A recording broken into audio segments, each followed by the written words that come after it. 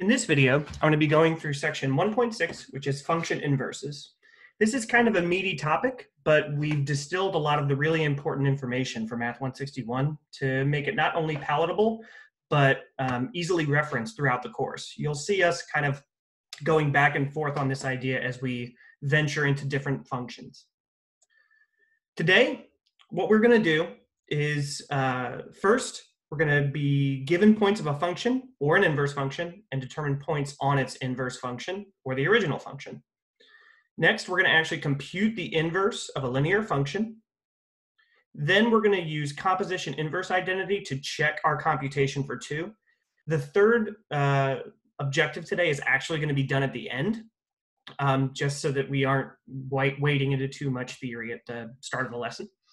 And then we're going to compute the inverse of a nonlinear function requiring a domain restriction. In particular, we're going to be doing this with a quadratic, and that's all that you'll be expected to do in the course up to this point.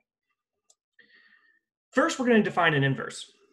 Ultimately, what we're saying is if I take some number, a, and I use f to map it to b, the inverse function would take b and send it back to a through a similar mapping, but we would call that mapping the inverse. The inverse is typically denoted as f to the negative 1 of x, but we do not call it f of x to the negative 1 power. Okay, there's going to be a homework question that addresses this because that's a really important thing to keep in mind. Um, another way that we could kind of think of this is if f of a is equal to b, then f inverse of b is equal to a. It sends it backwards.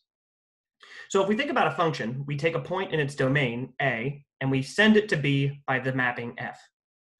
For an inverse function, we start with b and we send it back to a by the opposing mapping. So you could think of it as if f does something, then f inverse undoes something. So an important note, every relation has an inverse relation, but whether or not a function has an inverse function has to do with whether or not the function is one-to-one, which we talked about in 1.1. If a function is one-to-one, it's going to have an inverse function. We're going to observe this later. So let's start with just kind of a intuitive way to think about an inverse. Suppose I had some function f of t, where if you told me the number of minutes that you've driven, I would tell you, my output, the number of miles you had driven in that time. What does f inverse of 70 mean? So what we would do is we could think about this as domain and range. Okay, we would take A, our number of minutes driven, and map it to our range value, which is B, the number of miles driven. So F inverse of A is going to be equal to B. So F inverse of 70, what does that mean? That means what number, when I plug it into my original function, gives me 70 as a y value. Okay. So there's 70 in my y value. I want to know what its corresponding x is. b is going to be equal to 90. So f inverse of 70 is equal to 90. So think of it like if I were going to say, well, what's f of 90? You'd start with 90 in the t, and you'd map it to the y value, which would be 70. I'm going the opposite direction with an inverse function. Given that I have traveled 70 miles, I'm 90 minutes into my journey. This is obviously the reverse of the statement. Um, if I have traveled for 90 minutes, I'm 70 miles into my journey. So if I've got this function, it's g of x below. I want to find what g of 3 is and g inverse of 3. So for g of 3, what I'm really saying is what's the y value when x is equal to 3? Okay. So if I drew a vertical line at 3, where am I touching the function? Well, the y value associated with that is 1. Okay. Now g inverse of 3, that's a totally different question. What I'm saying is if I drew a horizontal line at y equals 3, what's the corresponding x value? That corresponding x value is going to be 5. So suppose we had a function f, and just think about this in your mind which doubled each input plugged into it and then added one to that result. Okay, so imagine what would happen. So if I gave you five, what would come out of this function? Take a second and compute that. So let's do f of 5. That means I'm going to plug 5 in. I'm going to double 5 and add 1 to it. So 2 times 5 plus 1, that should be 11. So f of 5 is equal to 11. That's our function. Now, from here, we could discern that f inverse of 11 is going to be equal to 5. But what would that actual function be? So in order to think about this, there's one method of computing a function's inverse. And I think it's really intuitive, but students tend not to gravitate towards it. So I'm going to show another method in the next example. But for right now, I just want to show you how this one works. The first thing I'm going to do is determine the order of operations on x in f of x. So I'm just going to plug some x value in. I chose 5. There's nothing special about 5, but I'm going to plug it in. So I plug 5 into my function, and the first thing I'm going to do to it is multiply it by 2. And I'm going to add 1. So if I make these tables in F, the first thing I did to that x value that I chose randomly, there's nothing special about it, was 5. The first thing I did was I multiplied it by 2. And then I added 1. Now, for the inverse, it seems to make sense that the opposite of multiply by 2 would be divide by 2. And the opposite of add 1 would be subtract 1. Now in F, I moved down the table. So it seems to make sense that in F inverse, I would move up the table. So I'm going to start with X. And the first thing I'm going to do is subtract 1 from it because that was at the bottom moving up. And then I'm going to take that whole result and divide that by 2. This is going to be my inverse function. This is what's called an operations table. You can compute inverses, particularly with linear functions using this, but it's not a required method. There's another way to do it that we'll see um, on the next example. So there's an alternate method to doing this. The first thing we can do, so I've got this function negative 3 times x minus 2. I want to find the inverse. The first thing you can do is switch the x and y variables. So if I rewrite this as y equals negative 3 times x minus 2, I'm going to switch x and y. So now I have x equals 3 times negative 3 times y minus 2. The next thing I'm going to want to do is solve for y.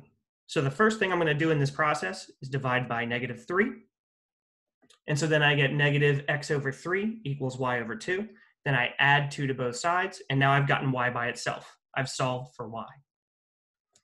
Now I'm going to use F inverse notation for my solution. And that's going to be another way I can solve this. So we've got the operations table and we've got um, the XY switch. I wanted to show them both to you. If you use the operations table for this, you should obviously get the same result. It's going to look different, um, but you should get the same thing.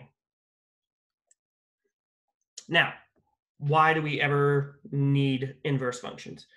So if you travel abroad, you will find that finding the temperature for a given day can be a little weird. We are used to expressing temperature in Fahrenheit. Everywhere else in the world uses Celsius. Truth be told, Celsius makes more sense. But this is the world that we live in. You want to find the formula for converting Fahrenheit to Celsius. You've got this formula here. If you give me a Fahrenheit, I can tell you what it is in Celsius by subtracting 32 from it first and then multiplying by 5 ninths. So given that it's 75 degrees Fahrenheit, Betty wants to find out what the temperature is going to be in Celsius. So she plugs in 75 as F to find what the um, degree, the temperature is going to be in Celsius. So the next day, the designer sends his assistant the week's weather forecast for Milan. Uh, you know, Milan, it's in Europe, France. I think Milan's in France. Uh, and asks her to compute the temperatures to Fahrenheit. So what you're going to do is determine and interpret the inverse function of C of F. I'm going to give you a second to do that. And I'm Googling where Milan is. Italy. Wow. Close, but not. So we're going to start with C and what C inverse stands for. So for C, if I look at my formula for Celsius, I started by subtracting 32 from the Fahrenheit, and then I multiplied by 5 ninths. Obviously, the opposite of subtracting 32 is adding 32. And let's pretend I lived in a world without dividing, okay? Because dividing by 5 ninths is going to be weird. Let's instead multiply by the reciprocal. So I can think of this as multiplying by 9 fifths. So I move down the table, going from Fahrenheit to Celsius. So I'm going to move up the table, going from Celsius to Fahrenheit. So we start with F, we multiply that by 9 fifths, and then we add 32. And now this inverse function, what it's going to do is given the particular temperature in Celsius, I know it's denoted as F here, but that's just for variable consistency. It's going to tell me what the temperature is in Fahrenheit. If you use the operations table for this, I'm sorry, if you use the um, XY switch for this, you would have gotten the same thing.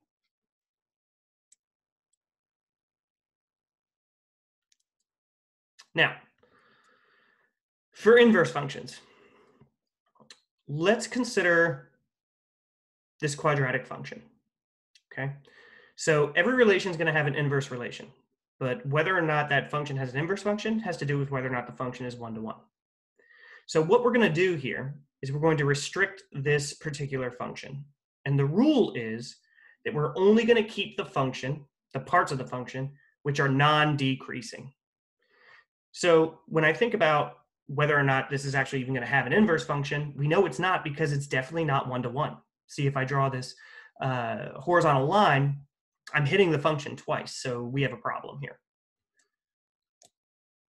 Now, what I'm going to do is I'm going to erase the part of it that's the part of it that's decreasing.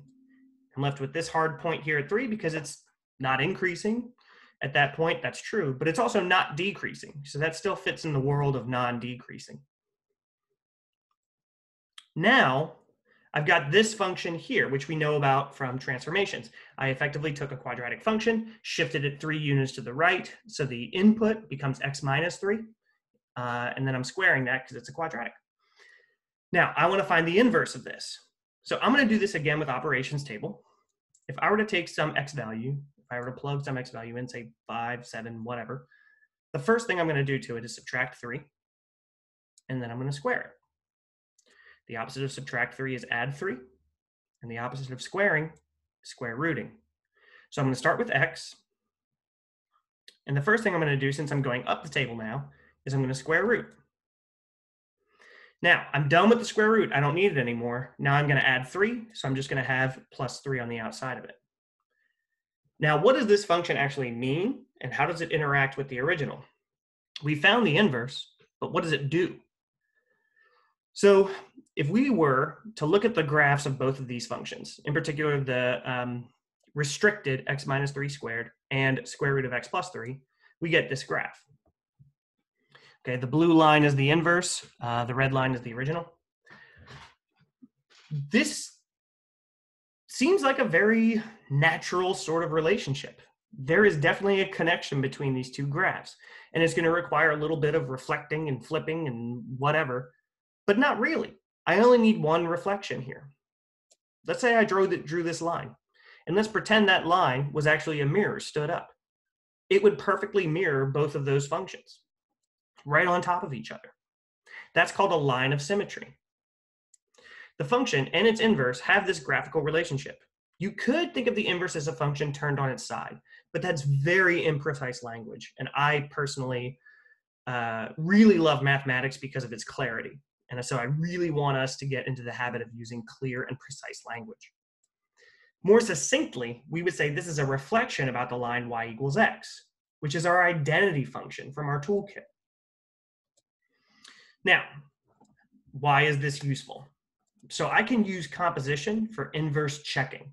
If I'm not convinced that my inverse function is actually an inverse function, there's this really neat relationship between composition and inverse that utilizes this fact here that it's reflective about the line y equals x by using compositions. So there's this really neat property where if I were to take an inverse function, put it inside of the original function, I would just be left with exactly x. which would be the same thing as if I took the function and put it inside of its inverse. Ultimately, if you take two functions and you do a composition of them, as we saw in section 1.4, if you took f of x and g of x and you put g of x inside of f of x, you get something. And then if you put f of x inside of g of x, you get something else, typically. When we both when we get the same thing from those, and they're both equal to x, that tells us something about those functions. In particular, they were inverses. So let's suppose I had these functions here. I had f of x and g of x. I want to compute f of g of x, okay?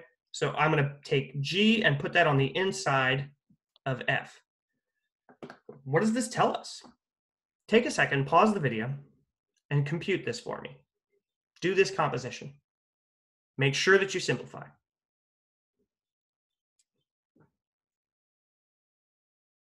Okay, so we take g of x, that x cubed minus 1, and we put it inside of f of x. The first thing that we see happens is the cancellation of the ones because these parentheses, there's no multiplication or anything, so we can just drop them. And then I'm left with the cubic root of x cubed, which is obviously just x. So that's interesting. I took this function and put it inside of this function right here. And what I'm left with is just x. What this tells me is that these functions are inverses of each other. So let's suppose you're doing a homework problem and you compute the inverse of a function and you say to yourself, I don't know if that's it. What you can do is take that inverse function, use it as a composition inside of the original function and the problem I gave you, and see if everything cancels out except for x. If it's 2x or 3x or x plus 1 or blah, blah, blah, it doesn't work. But if I just get exactly x from that result, that tells me that these actually were inverses, that my answer was correct. So we can use this to check our work, which is really useful. Now let's take a look at these two functions. Some of you will be able to look at this right out of the gate and tell me that these functions aren't inverses. But I'm just curious, are they inverses? There's a way we can check. Let's take one of these functions and put them inside of the other.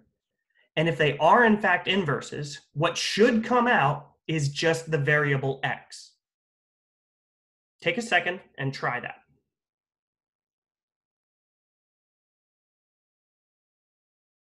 Okay.